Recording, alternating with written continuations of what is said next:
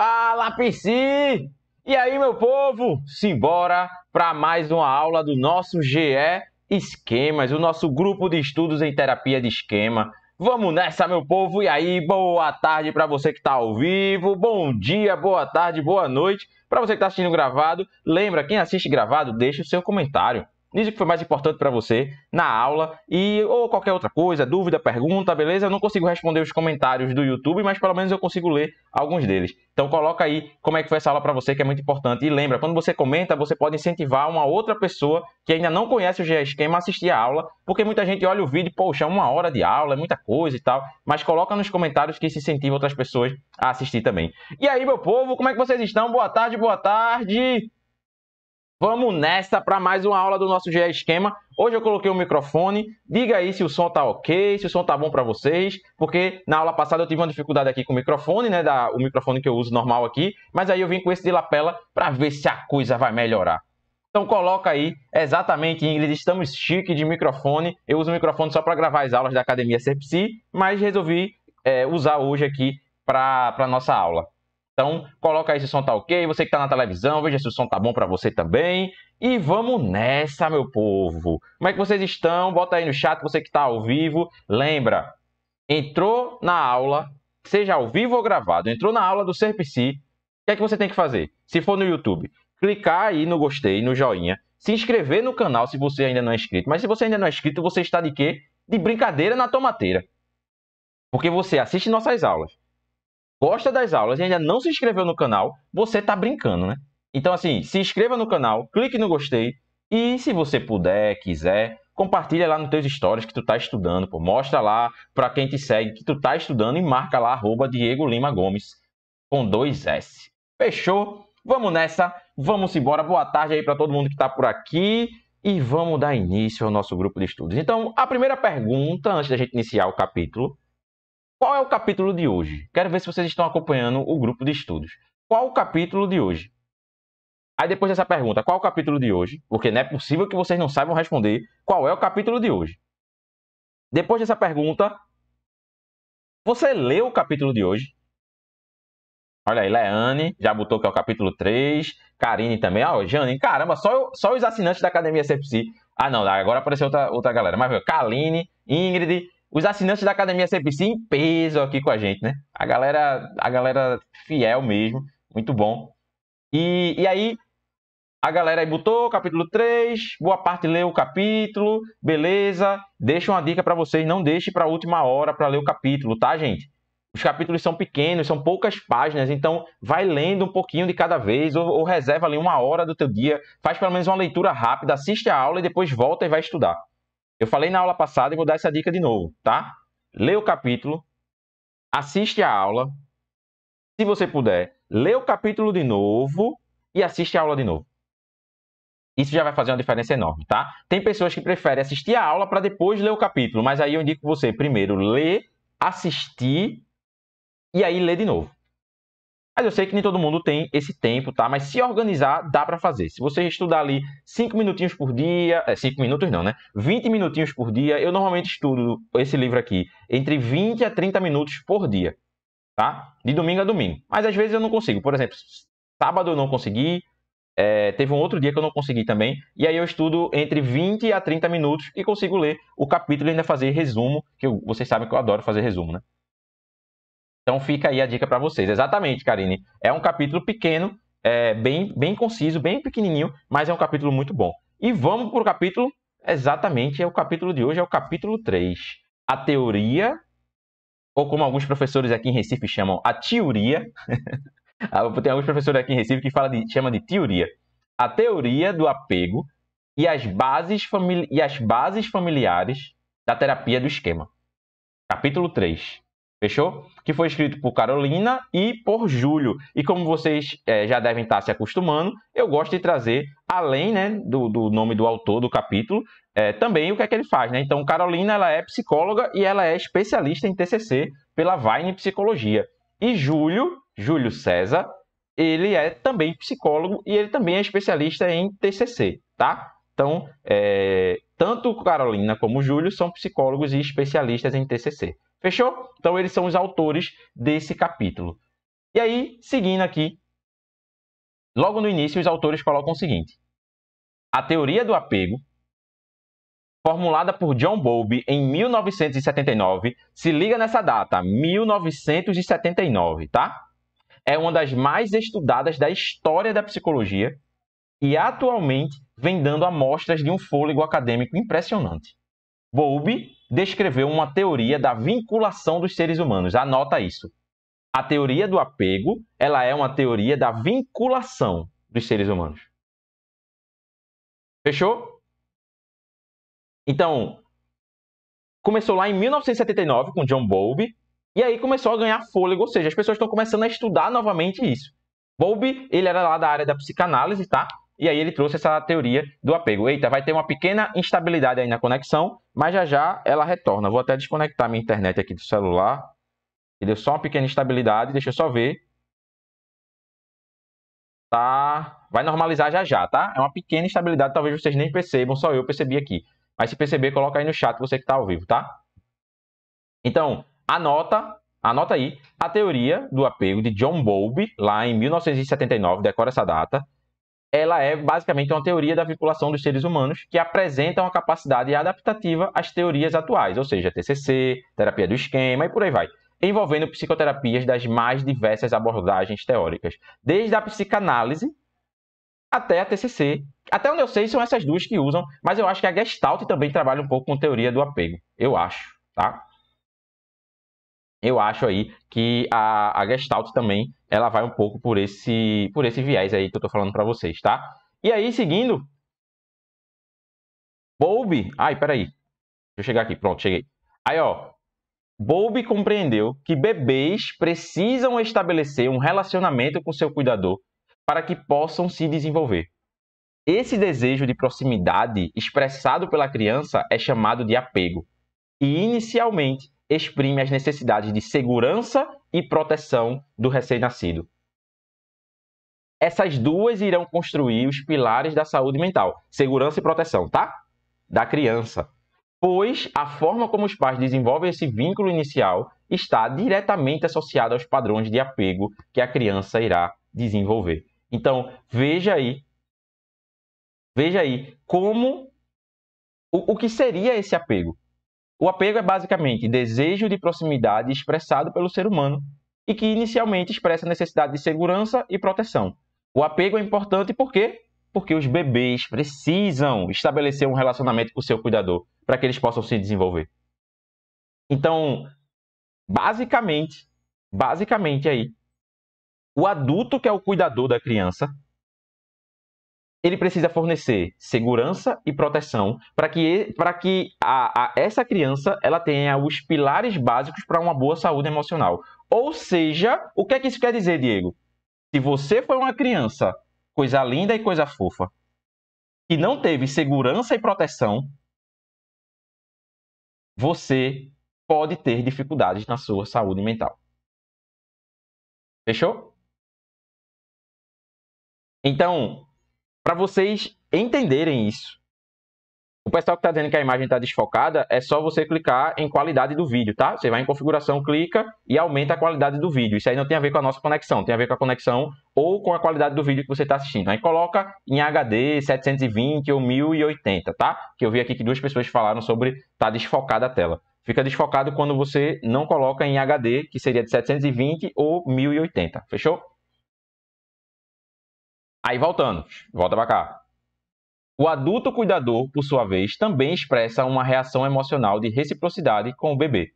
Essa interação é tão forte e determinante que o cuidado parental está relacionado não apenas ao desenvolvimento socioemocional da criança, mas também aos seus aspectos cognitivos.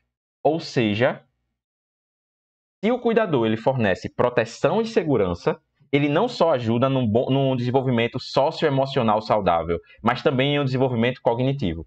O que seria o desenvolvimento cognitivo, Diego? Habilidades de atenção, memória, planejamento, flexibilidade cognitiva, memória de curto prazo, de longo prazo. Então, se eu tenho um cuidador que ele desenvolve um cuidado, perdão, que ele desenvolve um apego com esse bebê que gera segurança e proteção, essa criança ela já tem uma base para ter uma boa saúde mental, tanto nos aspectos cognitivos como nos aspectos emocionais. Fechou? Aí seguindo aqui o bonde, vai seguindo o bonde aí, tá? Próximo parágrafo. Em 1978, Mari, vou chamar ela de Mari, tá? Sei que tá em Y aí, mas não vou falar o nome dessa mulher não. Mari, em 1978, uma psicóloga canadense que concentrava, em seus que concentrava seus esforços em estudar e comprovar empiricamente a teoria de Bowlby. Mas peraí, Diego. Em 1978, mas a gente não acabou de ler que Bowlby começou a teoria em 1979. Como é que a mulher está tentando comprovar Bowlby se ela começou a estudar em 78? Não faço ideia. Não sei se foi um erro dos autores aqui. Não sei se os autores colocaram as datas erradas, mas 1978 ela não tinha como estudar Bowlby porque eles colocaram que Bowlby começou a formular a teoria do apego em 79. Então tem um problema de data aqui. Certo? Não faço ideia. Não sei, não sei quando é que Bowlby é, realmente bateu o martelo e falou sobre a teoria do apego. Eu não tenho esse conhecimento. Se alguém tiver, coloca aí no chat. Tá? Então, assim, é, esse aqui já é um, um pequeno problema que eu encontrei nesse texto. Certo? Então, 78 não tem como se Bowlby começou em 79. Mas pode ser que a data de Bowlby ali esteja errada. Certo? Então, pode ser que esteja errado ali aquela data. Mas isso é só um detalhe que eu estou trazendo para vocês aí, certo? Porque a gente está estudando. Estamos estudando aqui. Mas basicamente, basicamente, basicamente, essa psicóloga canadense tentou ali, é, se esforçou para comprovar que a teoria de Bowlby estava certa. E ela lançou o artigo que iria formalizar a teoria do apego como a conhecemos hoje, que é os tipos de apego, estudo psicológico da situação estranha tá? Então ela lançou isso aí. O que seria isso, né? Basicamente, basicamente, a situação estranha foi uma experiência criada por Mari, vou chamar ela de Mari, para avaliar a forma como os bebês de 12 a 18 meses se apegavam às mães. Então, basicamente, ela fez esse estudo para ver como o bebê de 12, ou seja, de um ano a um ano e meio, mais ou menos, se apegavam às suas mães. E em laboratório, olha que surreal, velho. Em laboratório foram observadas as reações de centenas de crianças ao se separar e reencontrar suas genitoras, na presença ou não de uma pessoa estranha. A partir da análise dos dados obtidos, olha que pesquisa, olha que pesquisa baseada em evidências, velho. Mari e seus colegas perceberam que as reações dos bebês no momento da separação e do reencontro com as mães podiam ser agrupadas em três grandes categorias.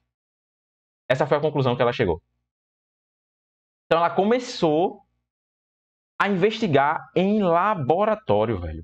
E aí ela classificou. Ela pegava basicamente a criança, deixa eu pegar aqui o nosso Aaron cérebro. Então aqui, ó, o Aaron cérebro, vou pegar vou pegar o outro cérebro. Esse cérebro aqui foi feito numa impressora 3D, mas aí ele ficou aberto em cima, não, não finalizou não a impressora. Aí, ó, a mãe é esse cérebro aqui e Aaron cérebro é o bebê, certo? Aqui é o bebê, aqui é a mãe. O teste em laboratório era basicamente o seguinte: é, o bebê tá aqui. Não, peraí. O bebê é qual mesmo? Não, a mãe é, a mãe é essa aqui. a mãe tá aqui, o bebê tá aqui. A mãe vai embora. Como esse bebê reage? Esse era o teste em laboratório. Fechou? E aí ela chegou a três tipos de apego, tá? Quais são os três, Diego? Aqui, ó. Categorias de padrões de apego. Apego seguro, onde basicamente demonstra desejo pelo cuidador da mesma forma que busca a proximidade e os cuidados do adulto, quando julga necessário, é capaz de explorar o ambiente, pois se sente seguro desde que o adulto não se afaste por períodos prolongados.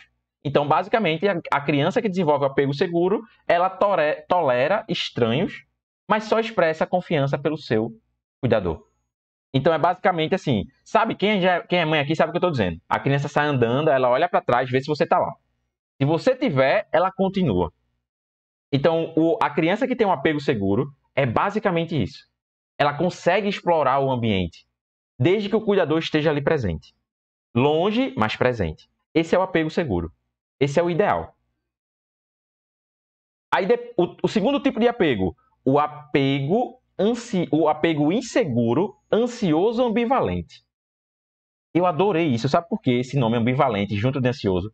Porque eu só relacionava a ambivalência a outro tipo de quadro clínico que seria o transtorno de estresse pós-traumático. Pessoas que têm estresse pós-traumático, principalmente devido ao abuso sexual, elas têm uma ambivalência de sentimentos. Tanto faz, tá bem como tá mal. E aí muitas até se, se acham bipolar, né? Mas não tem nada a ver, tá? Bipolar não é isso não. E aí eu gostei de ansioso e ambivalente junto, porque o ansioso ele é muito ambivalente, velho. Ele é muito tudo ou nada. Ele é muito tá tudo bem, mas tá tudo mal. Tá tudo bem, mas a qualquer momento pode ficar tudo mal. E se tiver tudo mal, vai ficar pior. E o ansioso, ele é muito ambivalente. E aí eu gostei dessa palavra aí, porque eu nunca tinha feito essa associação de como os ansiosos são ambivalentes. Que, é que vocês acham? Vocês concordam que estão aqui no ao vivo? Coloca aí. É, isso foi uma leitura que, quando eu estava estudando, eu parei para pensar, disse, caramba, é mesmo, o ansioso, ele costuma ser ambivalente. Ele costuma ser uma pessoa que tanto... É, quer, quer tudo ou nada, velho. Quem é ansioso aqui sabe, né? E deixa eu ver quantas pessoas estão ao vivo nesse momento. Estamos é, aí com 100, peraí, 146 pessoas ao vivo. Então, isso é muito comum. Muito comum. Sabe? O, a, a, o ansioso. Aqui tem 146 pessoas ao vivo. Das 146, 100 são ansiosas. Incluindo eu. Então, fica aí é, essa reflexão. O ansioso ele é muito ambivalente. Tá tudo bem, tá tudo mal. Vai dar certo, vai dar errado. Vai dar ruim, meu Deus, deu merda. Não deu. Vai dar. Mas se não deu agora, vai dar depois. E é assim a vida do ansioso. É uma loucura. Mas enfim, foi só uma reflexão que eu fiz quando eu estava estudando. Aí seguindo, eita, poxa, bati na mesa, balançou tudo aqui. Aí, ó, o apego inseguro ansioso, ele basicamente é o quê? Olha aí, ó, a nossa enquete. Você se considera uma pessoa ansiosa, sim ou não? Volta aí na nossa enquete, você que está ao vivo. Você que está gravado não tem como votar na enquete, tá? Você que está assistindo gravado, você só consegue acompanhar o chat, mas não dá para você votar aí na, e nem comentar, tá? Então, você se considera uma pessoa ansiosa? faça aí a sua votação e já, já a gente fecha essa enquete. Vota aí. Aí, ó, depois eu quero ver esse resultado aí. Vou até votar também. Ah, não posso votar aqui não. Se eu clicar, vai abrir outra coisa. Então, voltando. O ansioso inseguro. Olha só, minha gente. Olha só como muitos de vocês não vão se encaixar aqui. Quando você olha para sua história de vida, você desenvolveu um apego inseguro.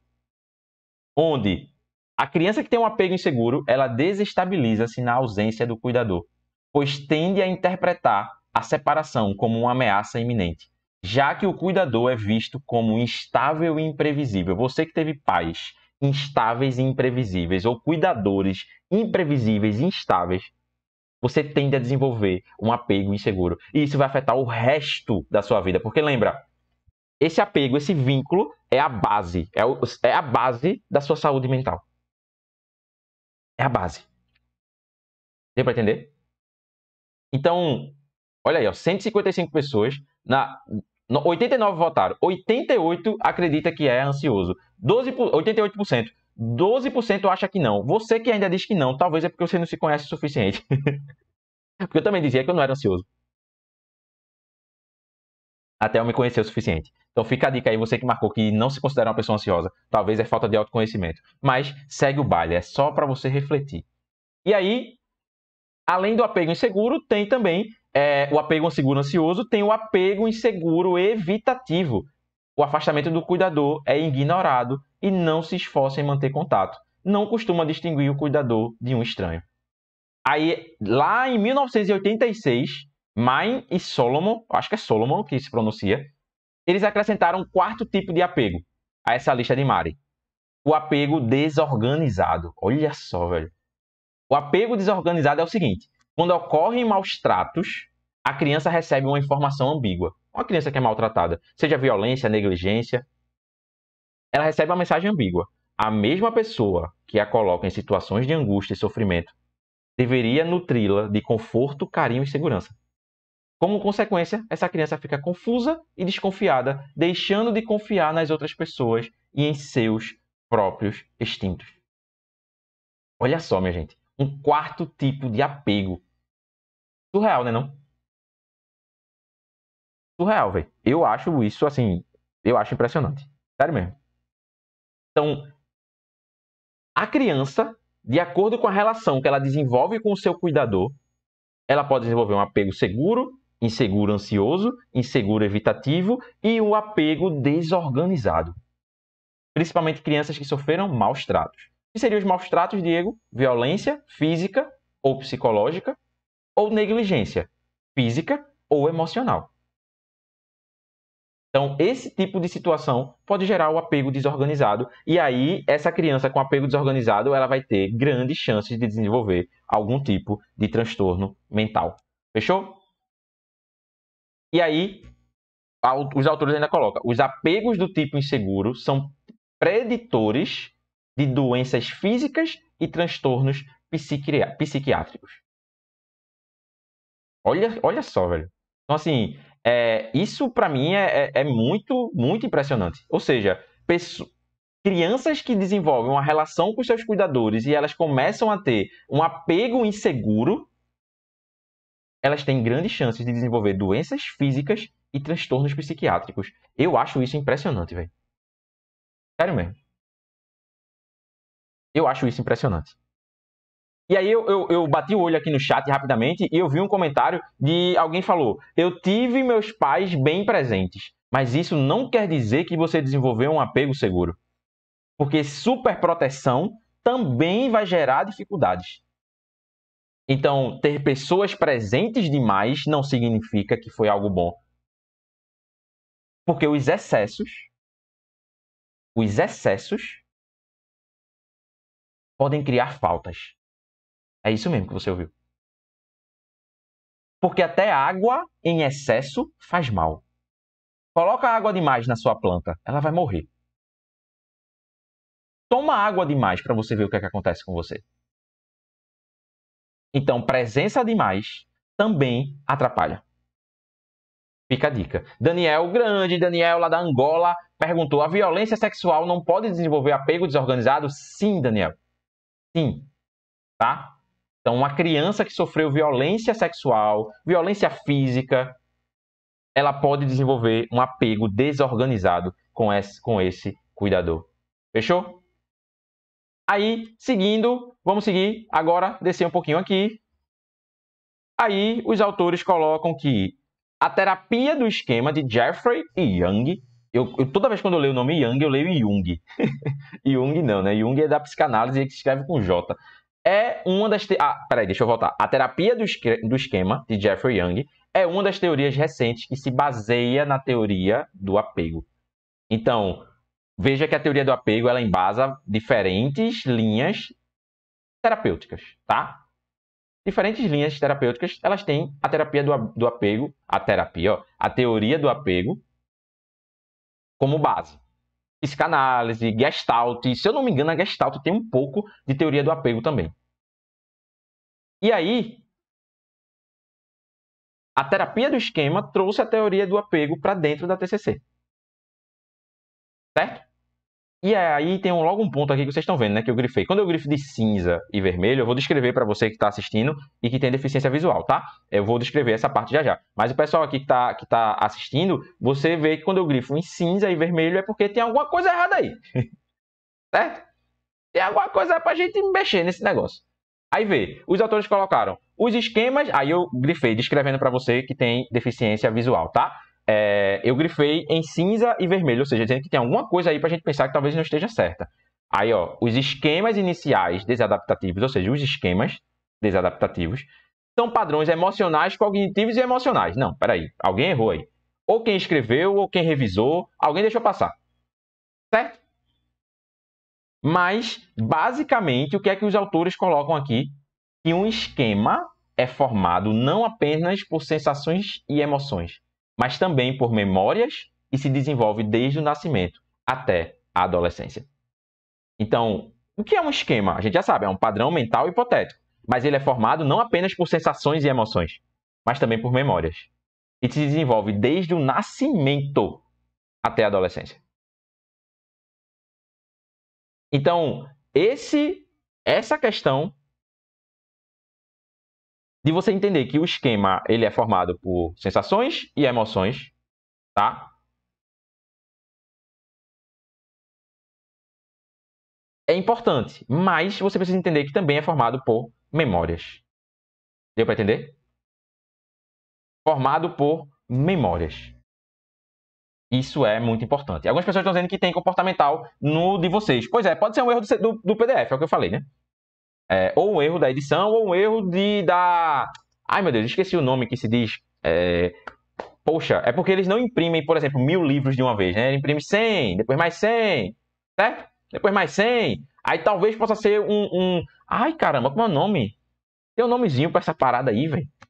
Mas enfim, eu não tô lembrando o nome. Não é trilha, não. Mas é, é, quando eles imprimem, vai imprimindo aos poucos o livro, sabe? Aí pode ter sido isso, certo? Pode ter sido esse problema aí de impressão. Não, não é lote não, Camila. É um outro nome que eles dão. Eles dão outro nomezinho. Aí pode ser isso, tá? Mas fica aí a dica. É, para vocês se ligarem e ler com critério, tá? A gente está fazendo uma leitura crítica, é um grupo de estudos, estamos estudando. Não para falar mal, é, tiragem, beleza aí, ó. Alguém foi, é, eu acho, Maria Goulart. É, tri, a, a, tiragem, a tiragem dos livros, tá? Então talvez seja tiragem ou um erro do PDF, tá? Tiragem, valeu aí o pessoal. Certo? É, sim, aí voltando. É, Karen perguntou, por memórias conscientes? Não, a aula passada eu falei sobre isso. Memórias conscientes, que podem estar armazenadas no hipocampo, ou memórias inconscientes armazenadas na amígdala. Tanto faz. Principalmente as inconscientes, tá? Então, o esquema é formado por sensações e emoções, mas também por memórias conscientes ou inconscientes. Aí, voltando aqui, ó. Espera aí, deixa eu ajeitar aqui. É... Pronto. Aí, Jeffrey Young e Klosko e Wischer, Wischer, Wischer, sei lá como é que se pronuncia o nome dessa pessoa, é, afirmam que os esquemas desadaptativos tendem a se ativar com mais força e por isso causam mais prejuízos na vida dos indivíduos. São aqueles desenvolvidos a partir das primeiras experiências na família nuclear com os cuidadores. Então, os esquemas que vão se ativar com mais força e assim causando mais prejuízo na vida da pessoa são aqueles desenvolvidos lá nas primeiras experiências. Esses são os esquemas. Esses são os esquemas que mais vai causar prejuízo na vida do paciente. E aí, mais um erro na edição. Eles colocam que para facilitar a compreensão dos 19 esquemas, não são 19, são 18, tá? E aí foi erro mesmo de talvez alguém não revisou, alguém não releu, eu não sei quem errou, mas não são 19 esquemas inclusive os próprios autores citam 18. Se você contar, tem 18 esquemas aí. Mas eles falaram 19. Não sei quem foi que digitou isso aí, quem foi que errou. Alguém não revisou essa parada, certo? Então, fica a dica aí para você também ler com atenção. Para de fazer essa leitura passiva, velho. E você fica lá e tá pensando em outra coisa enquanto tá lendo. Não, leitura ativa, pensando sobre o que você está lendo. Certo? Mas aí, enfim, só um detalhe, porque você precisa, você está aqui para aprender da forma correta, né? Então são 18 esquemas, até o momento catalogados são 18. Pode ser que aumente mais para frente, tá? Mas até agora, 2022, são 18. Eles foram agrupados em cinco categorias de necessidades emocionais não atendidas. O que são necessidades emocionais? Domínios esquemáticos, tá? Então, se essa necessidade emocional não foi atendida, dependendo de qual necessidade, vai variar o domínio.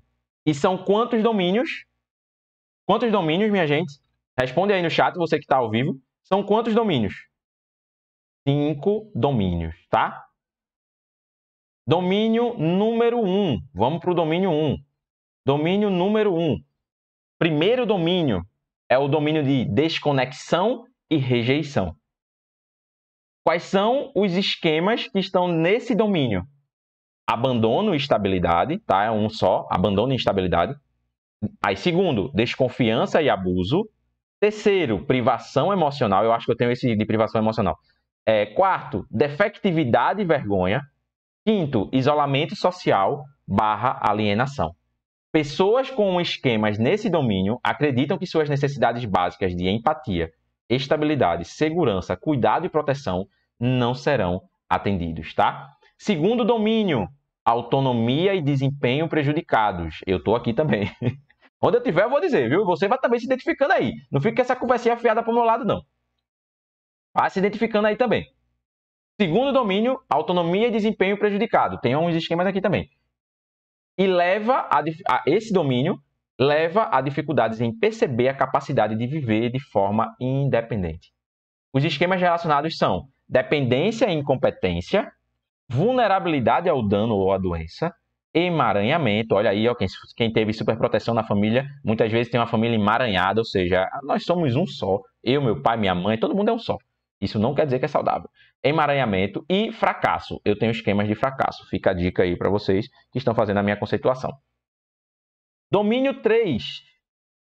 Limites prejudicados e se caracteriza por dificuldades em compreender e respeitar os direitos das outras pessoas, em se comprometer com metas e compromissos. Eu também tenho esquemas aqui. Os esquemas pertencentes a esse domínio são arrogo e grandiosidade, autocontrole e indisciplina insuficiente. Então, também estou aqui. Estou lascado, né? Estou no domínio 1, no 2 e no 3.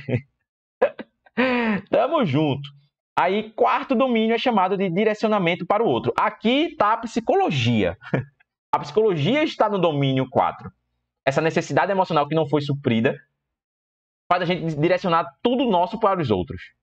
É caracterizada pela preocupação exagerada. Olha, exagerada. Exagerada com as necessidades alheias em detrimento das suas próprias. Ai, ai, ai. Eu quero até ver no chat. Quantos de vocês se preocupam mais com o outro do que com você mesmo? Quantos de vocês colocam o outro em primeiro lugar? e você sempre no rabinho da fila. Pois é, estamos aqui, estamos junto. Psicólogo gosta desses esquemas aqui. Ó. São três esquemas no quarto domínio. Três esquemas aí no quarto domínio. Subjugação, autossacrifício. Autossacrifício a maioria tem aqui, viu? Não venha com conversa fiada, não venha com negação, não venha com isso não. A maioria dos psis tem autossacrifício. Aí, depois de autossacrifício, o outro esquema, busca de aprovação, busca de reconhecimento. Eu também tenho esse. Eu tô ferrado, velho. Ai, meu Deus. Mas eu tô bem, né? Tô funcional. Aí, o quinto domínio é supervigilância e inibição. Aqui, os esquemas levam ao controle de impulsos e sentimentos espontâneos, além de gerar esforço para cumprir regras rígidas e inflexíveis quanto ao desempenho pessoal. Os esquemas desse domínio são negativismo, pessimismo, inibição emocional, padrões inflexíveis, postura crítica exagerada. Eu acho que eu tenho um pouquinho desse. E postura punitiva. Tá? Então, fica a dica aí para vocês. E aí, o outro parágrafo eu marquei aqui também, ó, na cor cinza, o que eu vou ler agora, tá na cor cinza e, destaquei em vermelho, porque para mim eu acho que não é bem assim. É, eu grifei em cinza. Ao compreender os tipos de apego como a base social e familiar para o desenvolvimento de esquemas, eu, eu não concordo com isso aqui, não. Tá? Ao compreender os tipos de apego como a base social e familiar, teoria do apego como base social, não seria base emocional, não, velho? Sabe?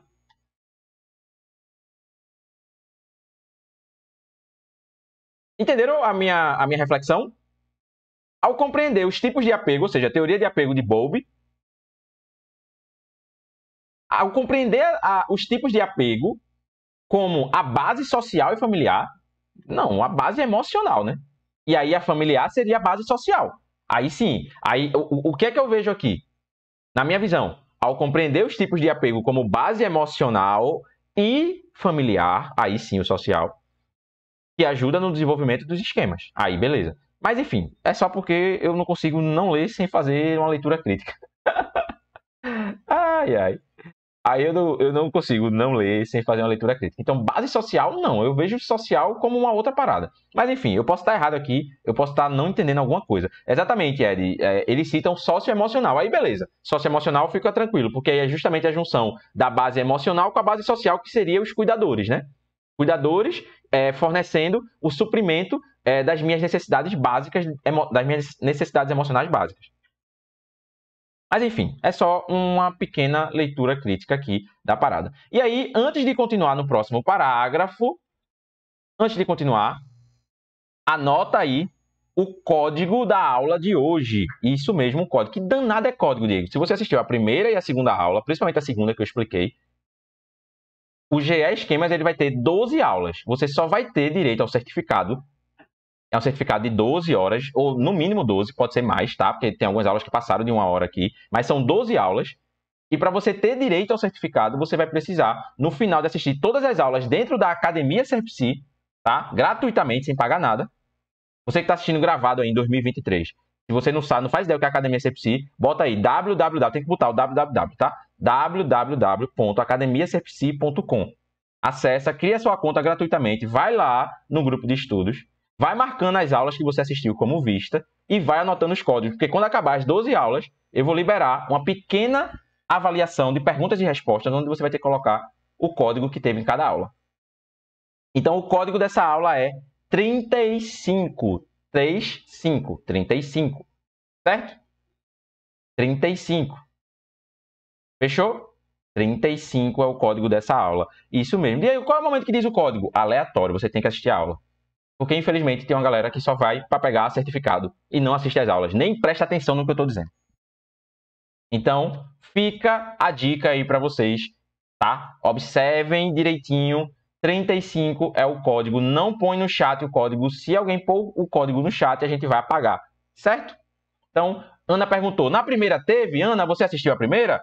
Se você não assistiu, você vai assistir. Se você assistiu e não percebeu, talvez você precise assistir de novo, porque aí não foi tão atento assim, tá? Então, se liga, isso é uma forma que eu tô também para primeiro selecionar quem realmente quer estudar, que tem uma galera que só vem para pegar certificado. E segundo, eu estou fazendo isso para treinar o nível atencional de vocês, porque eu estou impressionado com o número de psis desatentos, que não presta atenção em detalhes mínimos, que não lê os textos com atenção e com tranquilidade, que não vê as informações que estão em letras garrafais. Então, eu também estou fazendo um pequeno treino tá, de desenvolvimento aí, é, dessas habilidades cognitivas de atenção. Fechou? Então, o pessoal aí presta atenção direitinho. Você que tem um nível atencional baixo, vai exercitando. A atenção é como um músculo. Quanto mais você exercita, mais forte ela fica. Certo? Então, fica aí. Olha aí, a Ana falou que assistiu a aula de duas horas, que foi a primeira aula. Então, você viu algum código, Ana? Então, se, não, se foi dito algum código, você anota. Se não foi dito o código, você bota lá nas suas anotações. A aula tal não teve código. Porque eu também pergunto, tá? Eu vou perguntar, aula tal, teve código sim ou não? Aí você vai ter que responder se teve ou não. Fechou? Então, fica aí. Quem não gosta, é só você parar de, se, de, de assistir as aulas e assistir com outra pessoa. Porque aqui no CPC vai ser assim. Ah, que coisa chata. É assim, tá? Então, aceita que dói menos. Então, vamos nessa. É, porque tem uma galera ainda que é meio revoltos, assim. Não, porque eu tô assistindo, eu quero o certificado certo no final. Não, mas eu tô precisando para botar, dar entrada na faculdade. E o que é que eu tenho a ver com isso? Você vai ter no final. Não me importa se você está tentando botar suas horas na faculdade. Tá? O problema é seu, não é meu. Então, para você aí que é meio revoltos, porque quer as coisas do seu jeito, acorda para a vida que não é bem assim, tá? Aqui tem diretoria. Então, vamos nessa, voltando. Mas é pouca gente, se é pouca gente, é dois, três, duas, três pessoas que é, que é meio assim, enfim, alvoroçado. Mas vamos lá. Aí, voltando, voltando. Deixa eu ver aqui o meu... Ai, meu Deus, estourei meu tempo, ó, para variar, né? Mas vamos lá. Voltando. Dependendo, ó, presta atenção agora, dependendo da maneira como a mãe responde aos pedidos e necessidades do filho, este irá desenvolver diferentes formas de relacionar-se com ela e posteriormente com o mundo.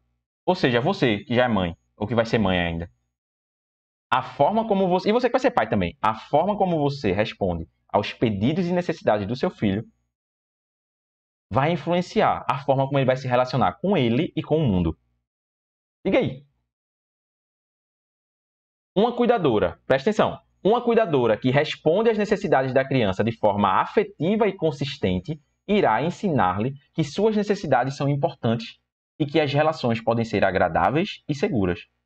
Por outro lado, uma mãe que não responde às necessidades do filho, ou faz sem afeto, ou de forma instável, ela está ensinando para essa criança que, estas não, que essa criança não é importante, que as necessidades, as necessidades dela não são importantes e que não se pode confiar nas pessoas para receber conforto, carinho ou segurança. Assim, tanto Bowlby quanto Jeffrey Young consideram o impacto da relação com a família na primeira infância fundamental ao desenvolvimento da personalidade. E eu acrescentaria aqui, ao desenvolvimento da personalidade normal ou patológica. Eu diria isso. Que a família tem um impacto muito grande no, meu, no desenvolvimento de uma personalidade normal ou patológica. Então, isso aí, para mim, é um ponto extremamente importante. Assim, a forma como a mãe supre ou não. E aqui a gente não está falando da mãe não errar, não é sobre a mãe ser perfeita, porque a criança não vem com manual. Criança não vem como manual. Tá? Criança não vem com manual. Aqui não está falando com a mãe ser perfeita e não errar. Aqui está se falando com a mãe responder aos pedidos e necessidades do filho. Necessidade de aceitação, pertencimento, limites. Eu tô com a garrafa de Amanda agora que eu percebi. Eu, quando eu olhei aqui na câmera, eu, eu tomando no canudo. É porque essa garrafa de Amanda, que as minhas estava quente, a minha água. A teoria do apego se consagrou como um dos construtos mais sólidos do estudo do desenvolvimento infantil e da personalidade, sendo até hoje aprofundada e desenvolvida por intermédio de pesquisas constantes ao redor do mundo. E aí citaram é, Olivia Delgado 2004, né? Ou seja, até 2004 muita gente estava estudando. E até 2004 não, até hoje muita gente está estudando. Muita gente está estudando teoria do apego. Uma das principais contribuições dessa teoria para a terapia do esquema é o conceito de representações cognitivas. Eu nunca tinha me atentado para esse conceito. Representações cognitivas. E quem é meu aluno antigo aqui sabe que eu nunca nem falei sobre isso. Tipo, representações cognitivas. Eu só me atentei estudando com vocês aqui. Caramba, que conceito é esse, representações cognitivas? Em 1979, de novo, 1979, não foi 78, Bowlby propôs que a forma como cada pessoa irá se engajar nas relações interpessoais deriva de suas representações cognitivas de si e do outro, bem como da interação entre tais representações. Então, as representações cognitivas é justamente isso, a forma, a, a representação que eu tenho de mim e do outro dentro de mim. a forma como eu enxergo os outros se chama representações cognitivas. E é essa representação que vai me fazer, que vai fazer com que eu me relacione de uma forma X ou de uma forma Y. Essas estruturas cognitivas, olha, estrutura cognitiva, esse, esse, é um conceito que eu falo muito, estrutura cognitiva, mas eu acho que o meu conceito de estrutura cognitiva é um pouquinho diferente desse aí. Essas estruturas cognitivas irão encaminhar a representação que a criança terá de si mesma, dos outros e do mundo. Olha aí, esse conceito se assemelha ao quê? A crenças nucleares, tá? E, portanto, nortearão e darão forma às suas experiências e emoções ao longo da vida. Vou ler de novo. As estruturas cognitivas irão encaminhar a representação que a criança tem de si, do outro e do mundo. E isso vai nortear ela. Além de nortear, vai dar a ela forma, vai dar forma às suas experiências e emoções ao longo da vida. Ou seja, essas representações cognitivas é meio que a forma como a pessoa, como cada pessoa vai engajar nas relações interpessoais a partir dessas representações que ela tem dentro dela. E eles chamam também de estrutura cognitiva que se assemelha à crença nuclear. Véi, eu achei complexo. Mas tá aí. Achei um pouquinho complexo. Mas eles vêm aqui com a definição. Ó. É, representações cognitivas saudáveis e adaptativas se desenvolvem quando o meio proporciona boas condições sociais especialmente no que tange a qualidade das, da relação afetiva com a mãe ou aos cuidadores primários. Então, seguindo, né? Essas representações cognitivas, bem como o modelo de funcionamento interno, se aproximam do conceito de esquema cognitivo de Aaron Beck, que serviu de base para a elaboração dos construtos da teoria dos esquemas de Jeffrey Young. Assim como o apego, os esquemas também começam a se formar por meio da relação com a mãe, cuidador, mãe ou cuidador, tá? Ainda na primeira infância, e irão guiar a forma como o sujeito irá se relacionar ao longo da vida. Traduzindo. Tá? Traduzindo. Esquemas e apego tá muito junto o que é uma coisa e o que é outra. Está muito junto. Por isso que Jeffrey Young trouxe a teoria do apego de Bowlby para dentro da terapia do esquema. Porque, assim como o apego, os esquemas também começam a se formar por meio da relação com a mãe. Ainda na primeira infância. e assim como o apego, isso também vai guiar a forma como o sujeito vai se relacionar com as pessoas ao longo da vida. Aí eles continuam, os autores. Ó. Da mesma forma que, de, que o desenvolvimento do apego é prejudicado pela falta de sensibilidade dos pais às necessidades dos filhos, os esquemas iniciais desadaptativos irão se formar à medida que a criança não tiver suas necessidades emocionais básicas atendidas. Então é como se, traduzindo, porque eu acho que ainda está complexo, poderia ter sido mais fácil isso aqui. Traduzindo,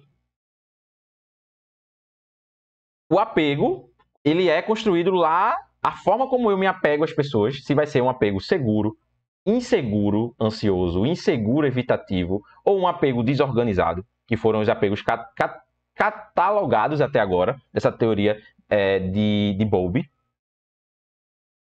Esse apego, ele se assemelha ao que é esquemas, porque os dois, eles precisam que os cuidadores possam suprir necessidades emocionais daquela criança. Só que, na minha visão, que era, poderia ter sido mais fácil aqui, tá? Na minha visão. O esquema ele é mais abrangente do que o apego. É como se o apego ele fizesse parte da construção de um esquema. Deu para entender? O esquema, o esquema, ah, perdão, o apego ele faz parte da construção do esquema. Resumindo, todo esquema envolve a construção de um apego, seja seguro ou inseguro ou desorganizado. Mas nem todo apego vai ser um esquema. Tá? Para vocês não confundirem e achar que os conceitos são iguais. O apego, ele faz parte da construção do esquema, ele está junto ali. O esquema é como se fosse uma coisa muito grande e o apego está meio que isso aí. E Jeffrey Young pegou essa teoria para explicar. Olha aqui ó, como um esquema vai se formando. Tá? E aí não, coloca, alguém botou no chat, o, o esquema vai depender do tipo de apego que você terá com os cuidadores. Não é que vai depender, não. Porque um esquema, ele não depende de algo isoladamente. Existem muitas variáveis para a construção de um esquema. Por exemplo, temperamento, que tem a ver com carga genética. Aí sim, cuidadores, experiências com esses cuidadores. É aí onde entra o apego. Então não depende do apego, porque tem a questão genética também. Tá? Porque se fosse assim, todas as crianças que sofreram maus tratos teriam as mesmas dificuldades. E não. A gente vê uma criança que sofreu abuso e essa criança hoje ela inspira, ensinando outros a não ser mais abusado, e uma outra criança que sofreu abuso, essa criança adoece e fica depressiva. Então, não é bem assim que depende do apego para ser o esquema. Eu acho que foi complexo ainda o que eu expliquei, né? Mas enfim, vocês voltam, assistem de novo, lê de novo e vai tentando. certo? Vai tentando. Vai tentando aprender. Porque realmente é um pouquinho complexo. Eu achei um pouquinho difícil. Eu acho que eles poderiam ter escrito. É, eu acho que poderia ter mais texto aqui explicando, sabe? Mas enfim, segue o bonde. Aí, ó, entre as décadas de 1980 e 19... Não, peraí, eu pulei uma parte. Aqui, ó.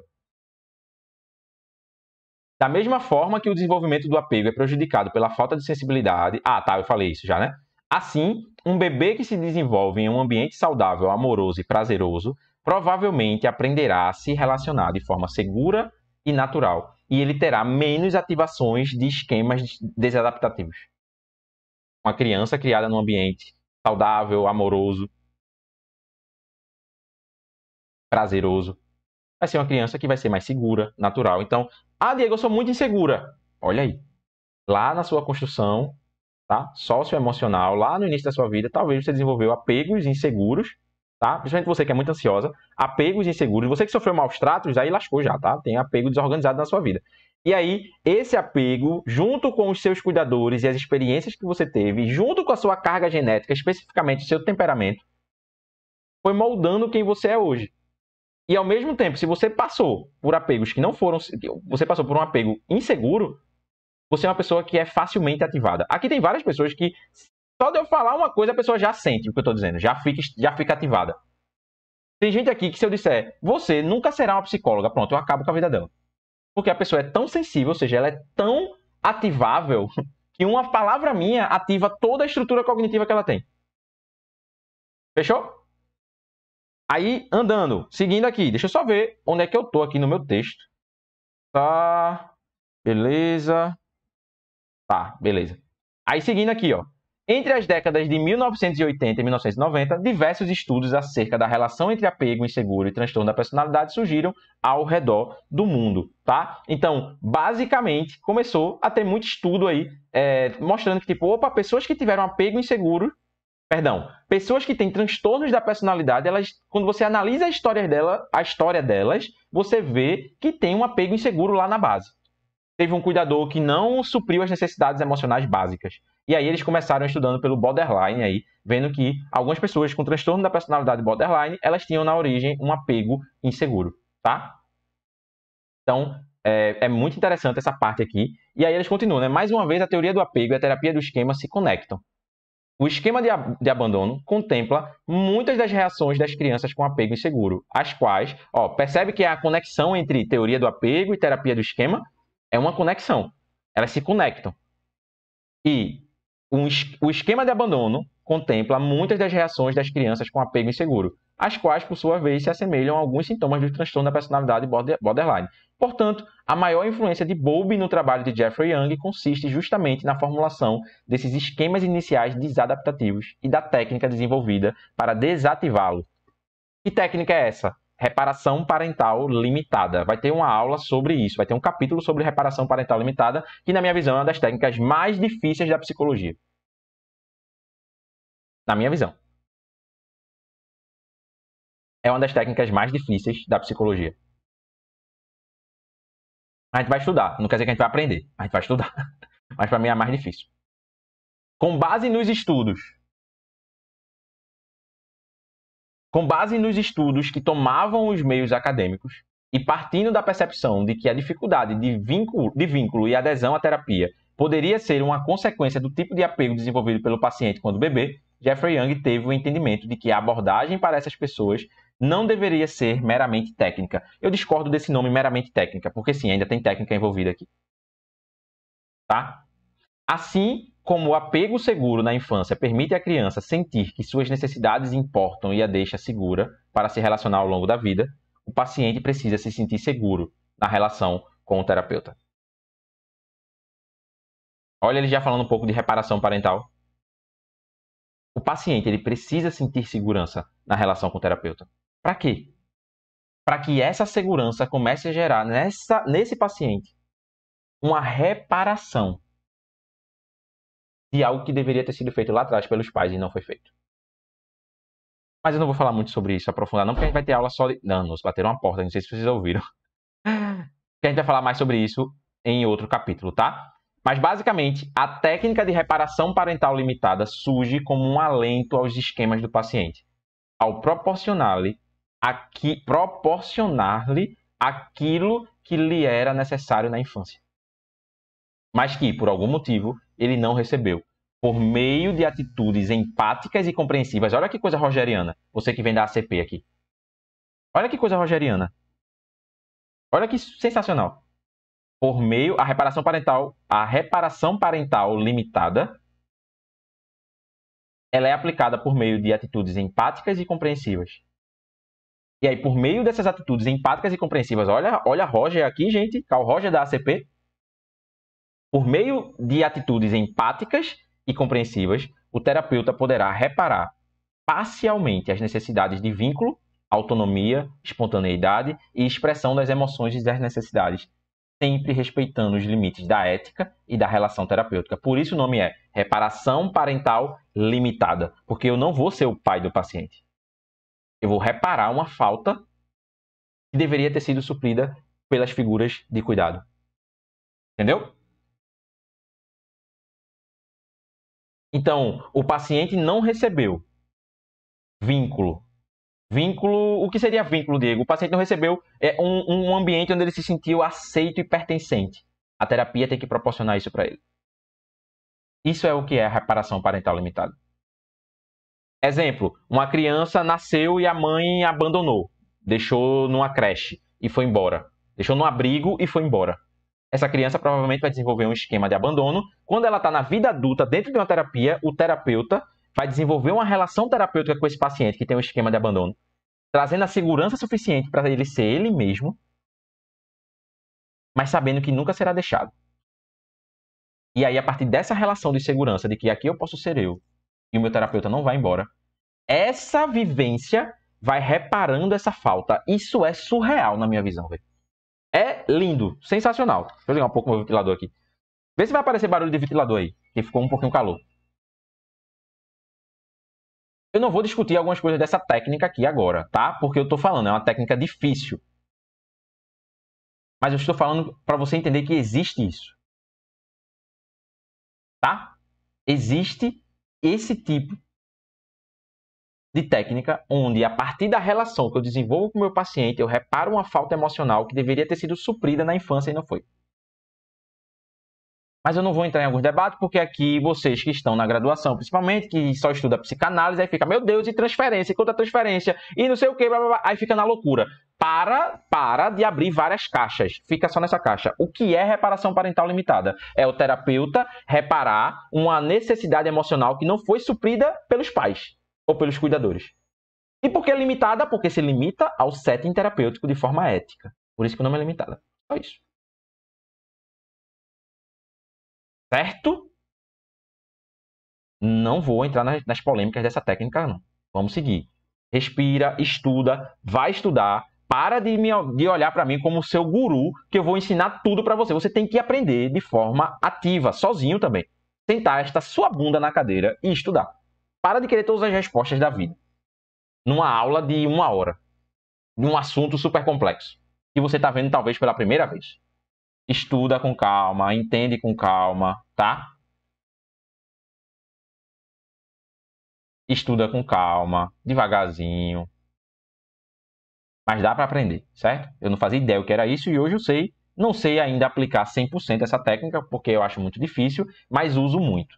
Uso muito essa técnica e de forma intencional muitas vezes, e é impressionante a cura. Vou trazer o nome cura, brincadeira é impressionante a reestruturação que causa na vida dos pacientes quando a gente vai lá e tipo, ah, meu paciente tem uma necessidade de ser aceito e eu vou e aceito o meu paciente do jeito que ele é. E aí tem paciente que fica agressivo e xinga você e tal, e você tá, você pode fazer o que você quiser. Mas eu vou estar aqui com você, eu não vou deixar você. Aí o paciente chora. Aí na outra semana o paciente já mudou e ele nem sabe o porquê. Mas enfim, eu não vou falar sobre reparação não, porque a gente vai ter aula de reparação parental limitada e aí eu vou trazer muitas coisas para vocês, tá? Aí, ó, caminhando aqui. Ai, meu Deus, peraí. Aqui, ó. Nos últimos anos, aqui vai falar um pouco sobre pesquisas, tá? Bem interessante esses estudos aqui que faz a relação entre terapia do esquema e teoria do apego. Olha que interessante isso aqui, velho. Presta atenção. Nos últimos anos, a relação da terapia do esquema com a teoria do apego se estreitou ainda mais e diversos estudos estão em andamento para comprovar suas interfaces. E aí eles citam 2014. Olha que coisa linda.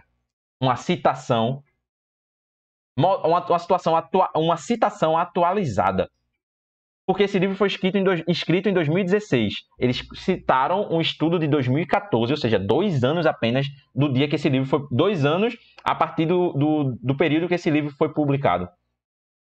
Olha que sensacional, velho. Sensacional. Tá? Então, assim, assim como na aula passada eu critiquei referências antigas, agora eu estou exaltando as referências atualizadas. Porque 2014 só tem aí o quê? Oito anos para hoje, 2022, então já é bem mais atual. Tá? Aí, ó, vou ler de novo. A relação da terapia do esquema com a teoria do apego se estreitou ainda mais e diversos estudos estão em andamento para comprovar suas interfaces um estudo publicado em 2014 examinou a relação entre tipos de apego e os esquemas iniciais de adaptativos. Olha que coisa linda! O resultado apontou que pessoas com apego inseguro têm chances relevantemente maiores de desenvolver esquemas do domínio de desconexão e rejeição, quando comparadas a indivíduo com apego inseguro. Olha só. Então, é impressionante isso, velho. Caramba, estudaram, pegaram pessoas com apego inseguro, com apego seguro, analisaram e viram que as pessoas com apego inseguro, elas tinham uma chance muito maior de ter esquemas de, de abandono que está dentro do domínio de desconexão e rejeição. Abandono, privação emocional, defectividade, isolamento. Surreal, velho. Aí continua. Para mim, essa parte assim foi linda. Sério. Para mim, essa parte aqui tá coisa linda. Aí continua. Outro, outro estudo que investigou a relação entre transtorno de ansiedade social, tipos de apego e esquemas constatou que pessoas com ansiedade social tendem a ter maior pontuação nos esquemas do primeiro domínio, além de apego do tipo inseguro. O estudo é de que ano? 2015. Meu Deus do céu. Olha que atual, olha que atualizado. O livro é de 2016. Eles citam o estudo de 2015, um ano antes de publicar o livro. Que a gente sabe que demora para publicar um livro, né? Ou seja, atualizadíssimo. Então, o livro que a gente está estudando, de, de, organizado por Ricardo Weiner, é de 2016. A citação é de 2015, velho. Ou seja, atual pra caramba. E aí eles trazem um estudo de 2011. Para mim, sensacional isso aqui. Sensacional. Tá? Olha aí, ó. Luciana fez uma pergunta. Deixa eu pegar. Eu peguei o chat aqui agora. Luciana, hoje já tem o código dessa aula? Luciana, talvez você chegou agora, vai precisar assistir a aula para ver se tem código ou não. E aí você que está no chat não responda, Luciana, senão a gente vai apagar. Por quê? Porque algumas pessoas vêm aqui para olhar o chat rápido para ver se teve código ou não. Não é o caso de Luciana, tá, Luciana? Pelo amor de Deus, não estou dizendo que é o seu caso, não. Estou dizendo depois, quando a aula ficar gravada. Então não respondam sobre códigos no chat, certo? Quem perguntar sobre código, você só diz, ó, oh, assiste a aula que você vai ver se vai ter código ou não. Beleza, Luciana? Não estou dizendo que esse é o seu caso, só estou aproveitando seu, a sua situação para psicoeducar a nossa audiência. Fechou? Mas vamos lá. Voltando. Cadê? É, em 2011, olha só que sensacional isso aqui. Em 2011, foi publicado um grande estudo longitudinal que acompanhou crianças durante 15 anos não acompanhou crianças de 15 anos. Porque sim, algumas pessoas de 15 anos, elas são crianças, na minha visão. A cabeça é de criança. Tem alguns homens de 30 anos que para mim ainda é uma criança.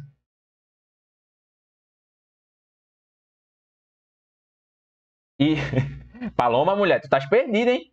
Essa é a aula 2, é Paloma? Se encontra, mulher. Essa é a aula 3.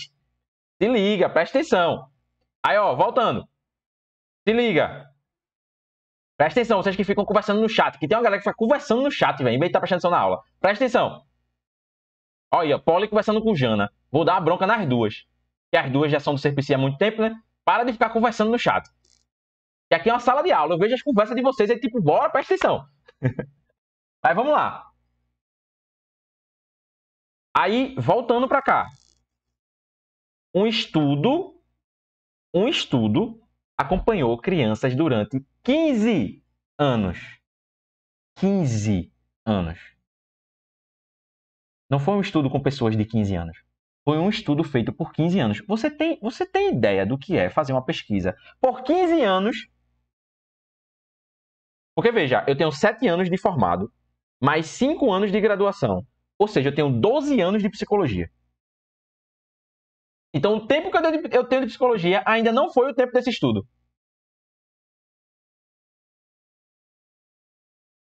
Meu Deus do céu! Tá ligado? Tipo, que estudo sensacional. Temos que parar para ver o que, é que esse estudo disse no final. 15 anos estudando, minha gente. Aí vamos lá. Estou fazendo todo esse alarde para você ver a importância da pesquisa. Como agora pesquisas relevantes, tá? Não são essas pesquisas aleatórias que não servem para nada, não. Pesquisas que realmente servem para a prática. Olha que pesquisa sensacional. Um estudo longitudinal acompanhou crianças durante 15 anos e cujo obje objetivo era observar se havia uma relação direta entre o apego na infância e os esquemas desenvolvidos. As crianças foram divididas aos 6 anos de idade em quatro grupos, conforme seus tipos de apego.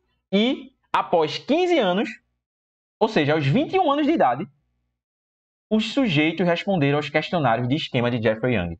O resultado mostrou que as crianças que tinham apego inseguro tornaram-se jovens com mais esquemas iniciais desadaptativos ativados em comparação àqueles com apego seguro, comprovando que necessidades não supridas desde a infância podem levar a um nível maior de ativação esquemática e, consequentemente, de sofrimento e prejuízos interpessoais.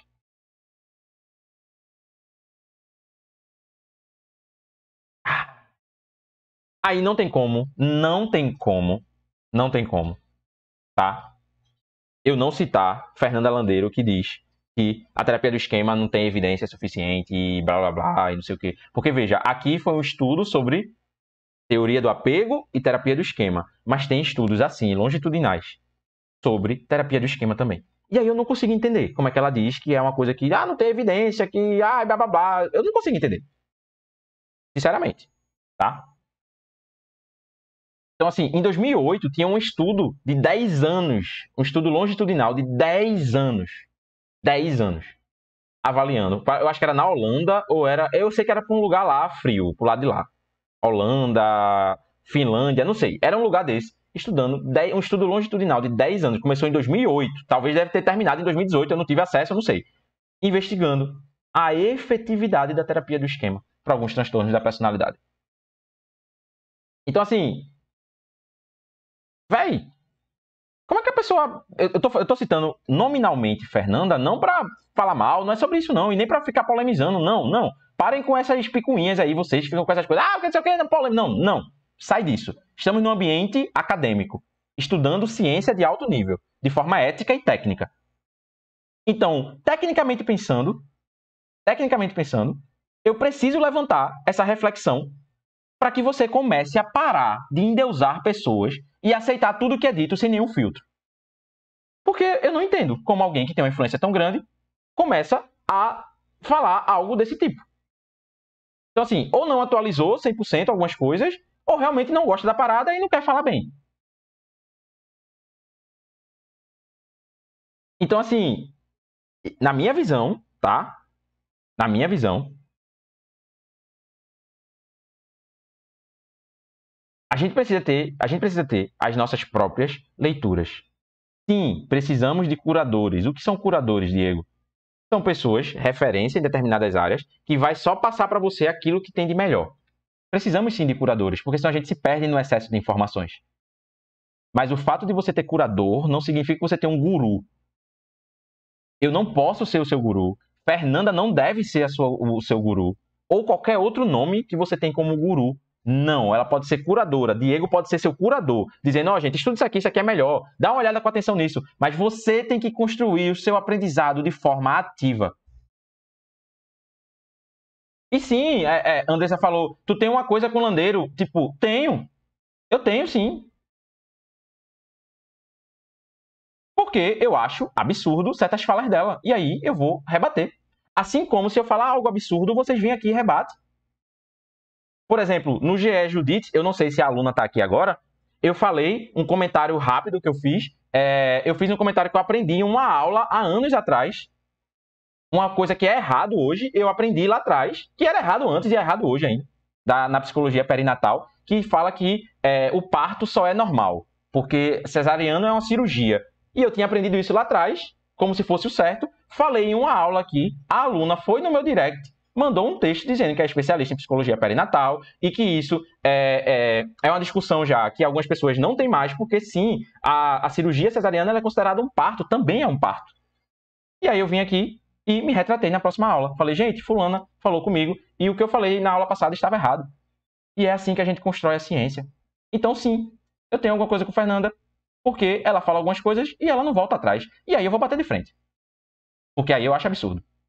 Tá?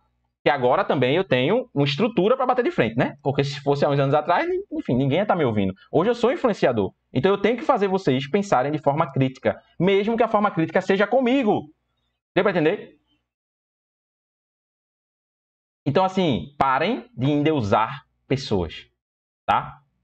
Seja, seja comigo, seja com Fernanda, que eu citei nominalmente, seja com qualquer pessoa, gente que até nem é conhecida na internet.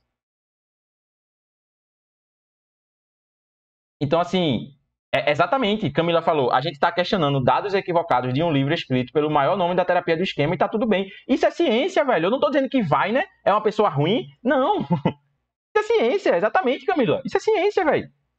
Eu não vou dizer que Vine é ruim porque tem um erro no livro. Não, pô. Ou, sei lá, se for o contrário, um livro meu que seja publicado que tenha coisas erradas e aí, caramba, Diego é um mau caráter por conta disso. Não, não estou falando de caráter de ninguém aqui.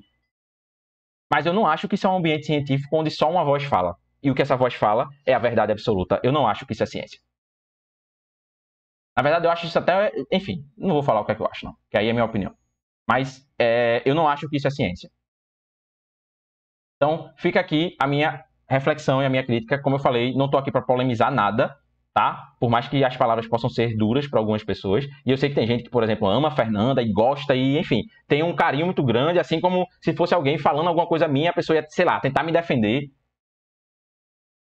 Então, assim, eu entendo, tá? Mas eu quero que vocês construam, construam uma opinião crítica. Certo? Ou seja, baseada em análises, análises de fatos, evidências. Não tomem como verdade o que grandes autoridades falam, tá? Não tomem como verdade. Sempre passe pelo filtro da reflexão crítica, certo? Mas vamos lá, voltando. Voltando para cá. É, deixa eu ver só os comentários aqui pra gente fechar essa gestalt. É, fechar essa gestalt. Pra fechar essa gestalt que eu abri, né? Tá, beleza. Vamos lá. É... Exato, velho. Eu vi um comentário. Tá... Tô tentando olhar os comentários aqui. Aí eu vi um, tá? É... Pronto, Andressa falou aí. Pronto, olha aí. Pronto, Andressa. Eu vou pegar, eu vi seu comentário. Eu discordo de você, mas tá tudo bem. E tá tudo bem mesmo, entendeu? é isso. Só que a gente não pode discordar de outras pessoas. E aí, aí para mim tá errado, velho. Porque tá tudo bem. Eu costumo dizer, Andressa, nós concordamos em uma coisa. Nós concordamos em discordar. Eu tenho uma visão, você tem outra. E é assim que a ciência vai se desenvolvendo. Tese, antítese geram a síntese. E assim a coisa vai sendo investigada e a gente chegou até aqui. Precisa ter maturidade para ser cientista. Resumindo é isso. Tá? Porque é exatamente o que o Júnior falou que eu ia comentar, mas aí eu vi o comentário de Andressa em cima e eu quis comentar para ela também ficar tranquila de que em nenhum momento eu vou estar, tá, eu estou aqui falando de você, tá, Andressa? Não é sobre isso, não. Estou só comentando esse ponto. E aí Júnior falou: no ambiente científico não se pode ter ego, tem que estar aberto a receber críticas. Pode até ter ego, mas esteja aberto a saber que você não é o detentor da verdade absoluta. Fechou? Mas vamos lá, voltando, tá? Aí, voltando para cá. Só para vocês entenderem esse ponto aqui. É, aí, fecha a Gestalt e volta para a aula. Vocês entenderam que durante 15 anos foi investigado essas crianças que depois viraram adolescentes e viraram adultas que tinham um apego inseguro e essas pessoas elas desenvolveram esquemas que eram ativados com facilidade. Elas, elas tinham ativação esquemática. O que, é que isso quer dizer na prática, Diego? Essas pessoas, elas tinham, um exemplo, tá? Vamos supor que é um esquema de abandono. Nas relações, ela tinha instabilidade nas relações pessoais. E aí foi constatado, evidenciado, que crianças com apego inseguro têm uma grande chance de desenvolver esquemas iniciais desadaptativos, gerando prejuízo para a vida emocional e social delas. E, e física também, né? Então, para mim, esse estudo aí é assim impressionante, impressionante mesmo. Na minha visão, é um estudo impressionante, tá?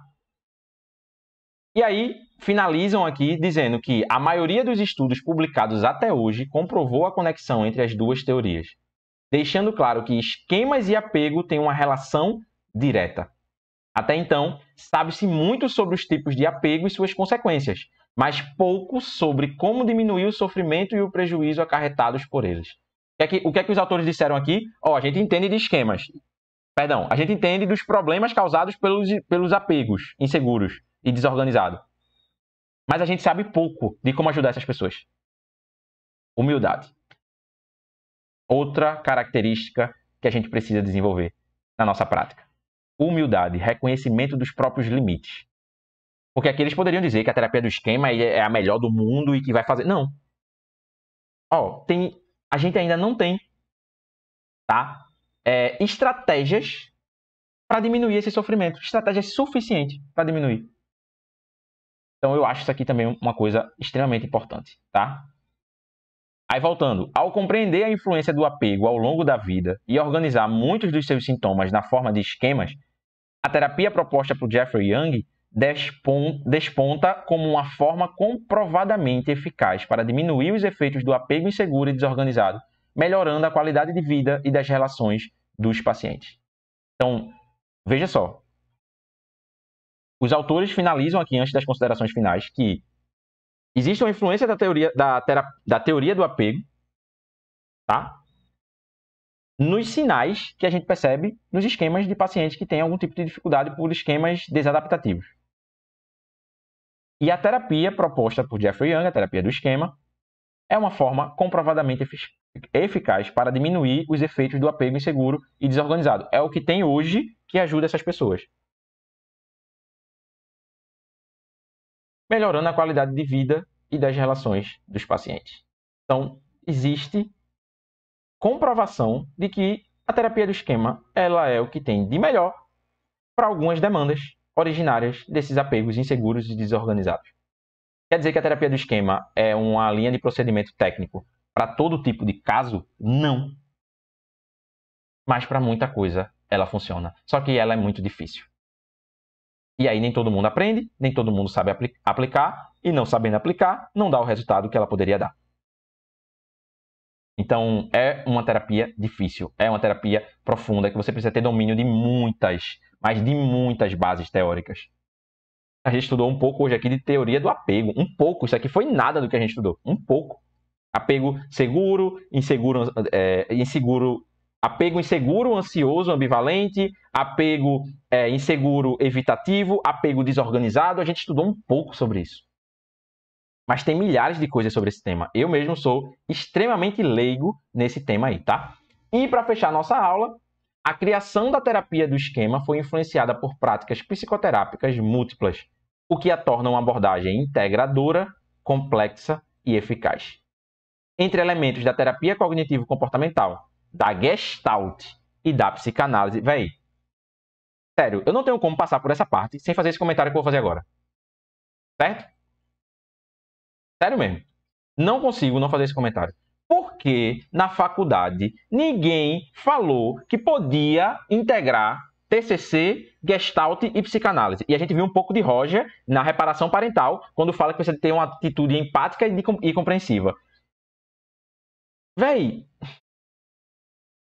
por que ninguém falou assim? Gente, veja só, eu sou gestaltista e prego a gestalt, mas você pode usar algumas técnicas desde que de forma ética, de forma técnica, com embasamento técnico e teórico e filosófico. Por que não? Por que não disseram isso na faculdade? Eu não faço ideia. Porque está aqui, ó. Em um livro que se vende, qualquer pessoa tem acesso a esse livro. Pessoas leigas podem comprar esse livro. Então não é Diego que está falando. Tá? A criação da terapia do esquema foi influenciada por práticas psicoterápicas múltiplas, o que a torna uma abordagem integradora, complexa e eficaz. Por isso muita gente não gosta muito da terapia do esquema porque ela é difícil, é complexa, ela pega muita coisa. Entre elementos da terapia cognitivo-comportamental, TCC tradicional, tá? Gestalt e psicanálise. A teoria do apego tem papel de destaque na formulação da terapia do esquema, bem como influencia direta no, bem como influência de, direta no tratamento dos pacientes. Não sei por que não fala isso na faculdade, assim, tipo, ó, oh, gente, eu não uso não, mas existe dentro da TCC uma integração com outras linhas de psicoterapia e de forma científica e de forma que funciona. Então, assim, eu olhei pro chat na hora que o Wallace comentou: não deixem a faculdade atrapalhar seus estudos. Comentário de Wallace não deixe a faculdade atrapalhar os seus estudos. Marta comentou, polarização desde a faculdade. Exatamente, a gente tá, a gente tá agora numa polarização política em 2022. Uma coisa absurda que eu não vou nem entrar nisso aqui. Mas a gente, como psicólogo, deveríamos sim fazer reflexões críticas sobre essa polarização política, essa dicotomia que estamos vivendo e a insanidade que vai ser.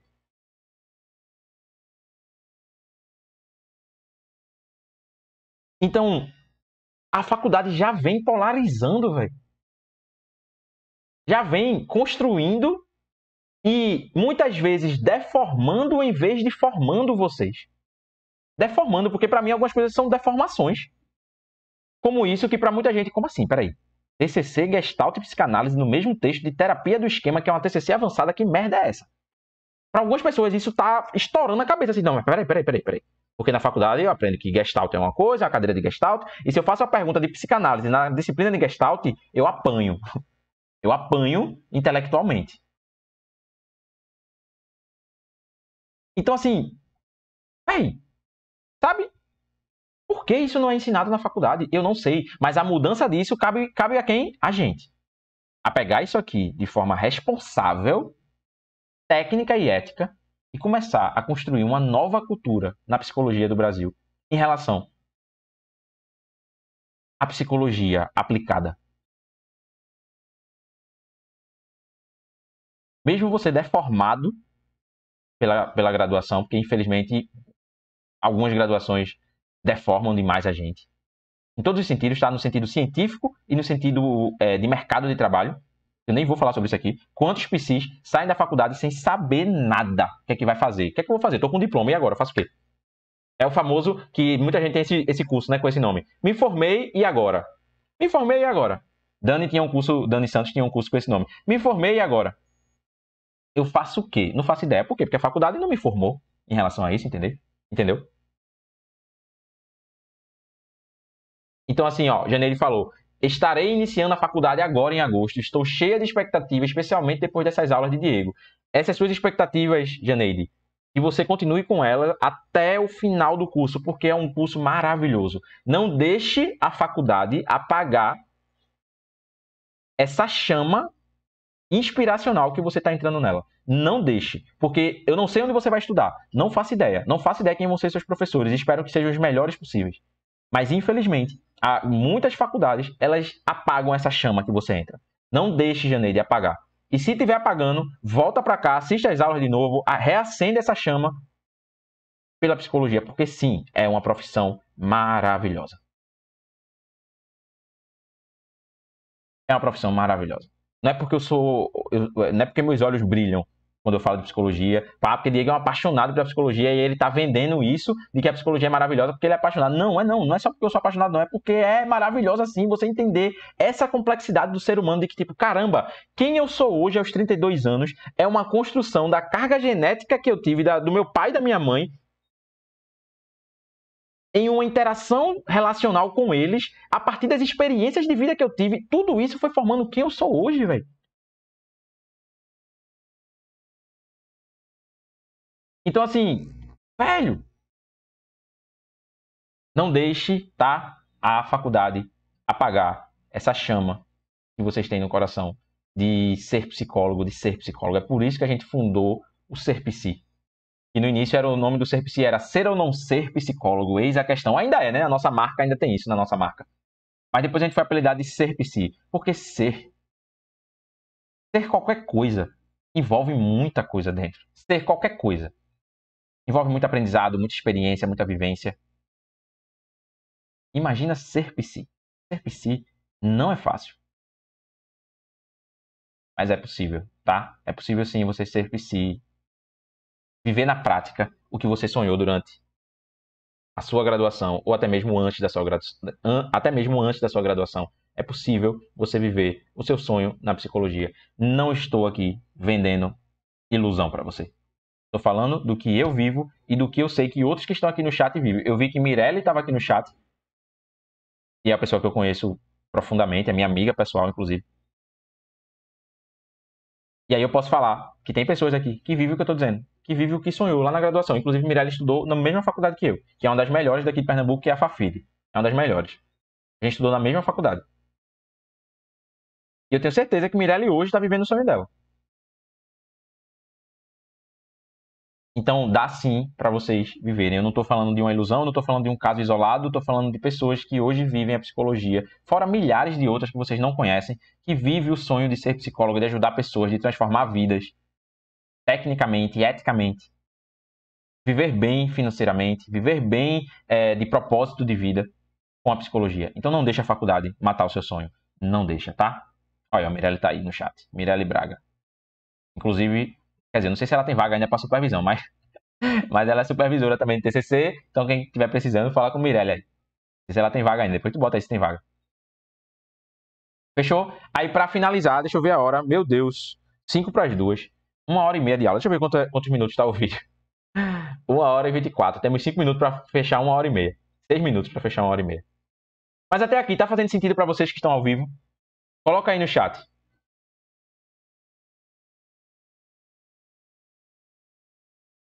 Coloca aí no chat. Ó, a Mirelle falou que quase que ele morria em 2018. O sonho de ser psicóloga de Mirelle. Quase que morria em 2018.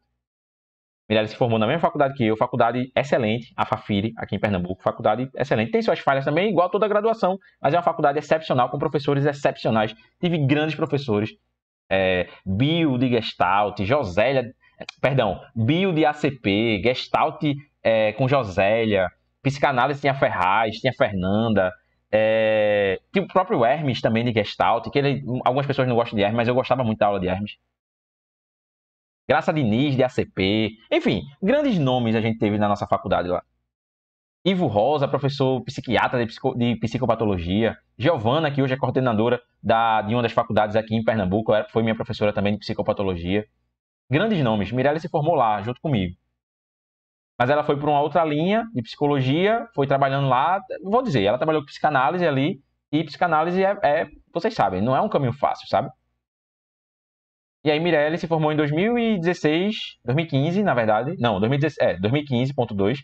E tentou três anos ser psicóloga. E em 2018 ela estava já desistindo quando ela encontrou o CERPC em 2019. Assim. Quase morreu o sonho dela. Mas eu costumo brincar que Mirelle foi salva pela Igreja Cognitivo Comportamental. pela Igreja CERPC. Eu não estou exagerando não, viu? Muita gente, a graduação, muita gente o CERPC salvou a graduação de pessoas que hoje são grandes profissionais, mas que estavam desistindo da graduação por achar que psicologia era o que estava vendo na faculdade. Aí, Antonieta, acabou, tá vendo? Acabei de falar. Antonieta, não tranquei a faculdade por culpa de Diego. Débora, Débora também, uma grande psicóloga hoje, deve ter até paciente de Débora aqui, Débora Oliveira, do Rio de Janeiro. É, não trancou a faculdade por conta do CERPSI e hoje é uma grande profissional, alguém que eu me orgulho muito, falei até dela na outra aula, e eu me orgulho muito, de verdade. Bom, para fechar, Vamos embora. Os conceitos de Bowlby são a base para o entendimento da formação e manutenção. Anota essas duas partes aí. Anota essas duas partes. Os conceitos de Bowlby, ou seja, a teoria do apego, tá? São a base para o entendimento da formação e manutenção dos esquemas. Presta atenção aí. Entendeu? A, te, a teoria. Perdão, perdão, falei errado. A teoria do apego, ela é uma base para você, entender, você entender como se forma e como se mantém um esquema desadaptativo.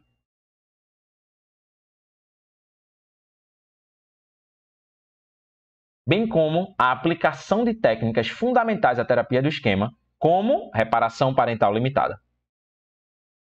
Além disso, Jeffrey Young levou o conceito de apego para além da relação mãe-bebê. Tá vendo que era um conceito limitado de Bowlby, relação mãe-bebê ali? Primeira infância, dos 12 aos 18 meses. Era, o apego estava muito trabalhado só na relação mãe-bebê. E Jeffrey Young veio e, tipo, vamos além, velho. Sabe? Vamos além disso. Qual, qual, é o impacto disso no resto da vida desse, desse bebê? Esse bebê vai crescer. E aí, Jeffrey Young levou esse conceito além da relação mãe-bebê trazendo o conceito para a relação terapêutica como uma nova ferramenta para compreender as reações do paciente ao profissional e à terapia. Olha que surreal, velho. Surreal, né, não? Então, tipo, Jeffrey Young pegou ali uma teoria é, originária de John Bowlby na psicanálise, ele foi integrando isso essa TCC avançada, que é a terapia do esquema. Ele foi além da relação mãe-bebê. Quem é da psicanálise aqui já escutou muito isso, relação mãe-bebê que é muito debatido na psicanálise, relação mãe-bebê, relação mãe-bebê e a construção da psique, né? E aí Jeffrey Young pegou isso, foi além e levou para dentro do, do setting terapêutico, vamos ser, já que eu falei da psicanálise, né? O setting terapêutico. Ou seja, o ambiente de terapia, dentro da prática, dentro da relação entre profissional e pessoa atendida. Porque tem gente que gosta de chamar de paciente, tem gente que gosta de chamar de cliente, e tem gente que chama ainda um, outros nomes aí. Então, eu finalizo essa aula de hoje trazendo para você esse conhecimento que para mim, para mim, teria teria teria acelerado muito meu crescimento se eu tivesse aprendido isso lá na minha graduação.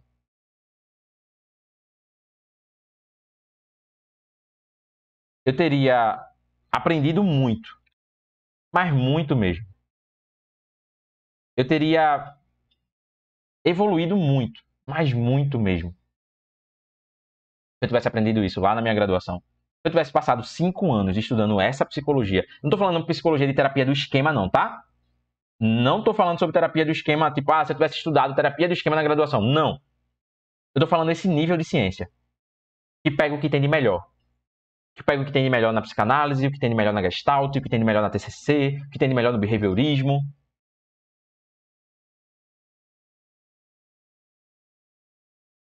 Eu tivesse tido contato com esse nível de ciência, esse terapeuta que eu sou hoje seria, no mínimo, duas, três vezes melhor do que é hoje. Então você, que ainda está na graduação,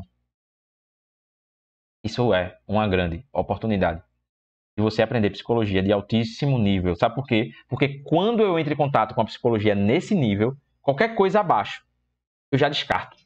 Eu não perco tempo com coisas que tá muito abaixo disso, entendeu? Porque, tipo, não, isso não é sobre isso. Psicologia é muito além disso, entendeu?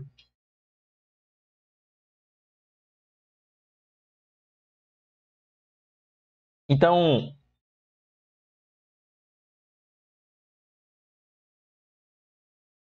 que vocês aproveitem essa oportunidade, vocês estudantes. Que vocês realmente se aprofundem, tá? Que vocês realmente se dediquem a aprender psicologia nesse nível. Uma, psicologia, uma psicologia integradora, que integra o que tem de melhor na ciência, tanto na psicologia como ciência, como também na neurociência e outras áreas de ciências uma psicologia que integra, uma psicologia complexa, uma psicologia profunda, porém uma psicologia efetiva, que dá resultado com qualidade. Então eu fecho essa aula de hoje trazendo essa reflexão para vocês e que essa nossa terceira aula, a gente está na terceira aula ainda do grupo de, de, do GE Esquemas, ainda vem aí mais nove aulas para a gente finalizar as 12 desse grupo de estudos. E ao final desse grupo, você saia muito maior do que você entrou. Você saia muito maior como ser humano e muito maior como profissional. É isso que eu desejo para vocês que participam aqui do GE. E se essa aula fez sentido para você, comenta quando terminar. Deixa teu comentário, deixa teu comentário aí no chat, deixa teu comentário aí você que está assistindo gravado. Lembra de se inscrever, lembra de curtir, lembra de compartilhar nos teus stories. Tem, sei lá, deixa eu ver quantas pessoas estão ao vivo agora aqui. Tem 100 pessoas, 139 pessoas ao vivo. Você que está ao vivo, tira uma foto aí não importa se eu vou ficar estranho, eu vou ficar feio. Tira uma foto eu tomando água. então, tira uma foto, posta aí nos teus stories. Coloca o arroba Diego Lima Gomes, com dois S no final, tá? Lembra que aquele arroba ser ou não ser psi a gente não tem mais. Eu juntei tudo em um lugar só e agora tem só o Instagram porque facilita a minha vida. Então, põe aí arroba Diego Lima Gomes, com dois S no final, marca a gente, chama outras pessoas para participar. Muita gente está chegando, sendo chamado por outros amigos que começaram o grupo e estão vendo que, tipo, caramba, eu tenho que compartilhar com outras pessoas isso aqui. É essa psicologia que eu, que, que eu quero estudar, sabe? Então compartilha aí, põe nos teus stories, coloca o nosso arroba e vamos embora que tá, estamos ainda no início do grupo, não chegou nem a 30% do, do grupo de estudos. É a terceira aula, tem mais nove aulas ainda, então imagina o que vem por aí, né, minha gente? Então, Obrigado mais uma vez, meu povo. Uma hora e meia de aula para vocês. Vamos embora almoçar, que eu não almocei ainda. e ainda vou trabalhar hoje, ainda vou dar aula hoje às sete e meia, de sete e meia da noite até 22 horas para as meninas da minha formação. E é isso. Beijo para vocês. Muito, muito obrigado por mais uma aula. E até a nossa próxima aula. É isso, meu povo. Beijo para vocês. Beijo, meu povo.